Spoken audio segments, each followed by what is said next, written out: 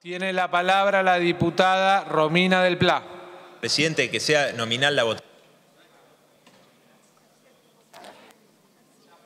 Diputado, ya fue votada, fue anticipado previo al inicio de la sesión que las votaciones que no fueran de ley iban a ser a mano alzada, salvo el protocolo, y ya fue votada por el Pleno del Cuerpo.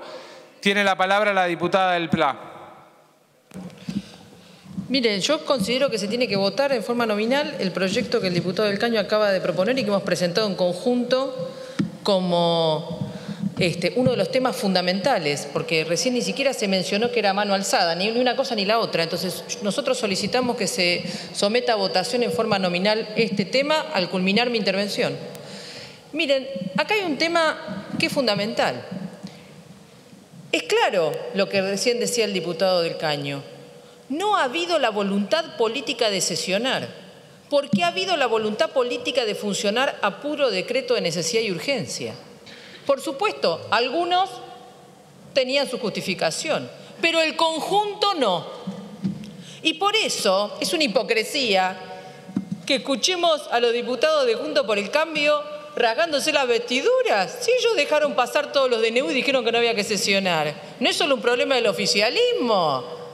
Acá unos y otros, el fantasma se asusta del espectro. Si cuando gobernaban también gobernaban a puro DNU, a superpoderes y facultades delegadas. Por favor, el oficialismo y la oposición de derecha tienen la misma orientación, que es la concentración de poderes. Y en ese sentido, todos se han quedado con las facultades delegadas y los superpoderes para poder hacer y deshacer reasignar partidas. Todos los presupuestos en los últimos años han tenido el poder de reasignación de partidas, por supuesto, de acuerdo a los intereses y las necesidades patronales. Lo mismo ahora. Quiero recordar que los dos únicos diputados que votamos las leyes desde diciembre en adelante, por supuesto antes también, contra la delegación de facultades extraordinarias al Poder Ejecutivo fuimos Nicolás del Caño y el Frente de Izquierda. El resto no tiene ni, ni autoridad para abrir la boca. Eso tiene que quedar claro. Y por eso nosotros venimos reclamando que haya sesión desde el principio, que busquemos los métodos, porque acá cada medida que se adoptó que tenía algún nivel de protección a los trabajadores se convirtió rápidamente en papel mojado. Por eso es fundamental votar este impuesto a las grandes fortunas, que es un impuesto que permite recaudar entre 15 mil y 20 mil millones de dólares. Acá escuchamos a muchos agitando que había que ponerle impuestos a los ricos. ¿Y dónde está el proyecto? No está en ningún lado. El único proyecto que es el nuestro. Entonces, ¿por qué no se vota? Planteamos grabar a las fortunas personales mayores de 100 millones de pesos, grabar las ganancias bancarias, las ganancias extraordinarias de las empresas, porque allí muchos esconden sus ganancias personales, las grandes tenencias de tierra y las propiedades ociosas. ¿Para qué? Para asignarlos a la centralización del sistema de salud, para que realmente estén los insumos que hacen falta para que no sean los primeros que se enferman los médicos y las enfermeras. Acá dentro de un rato vamos a votar un proyecto, vamos a intervenir sobre eso.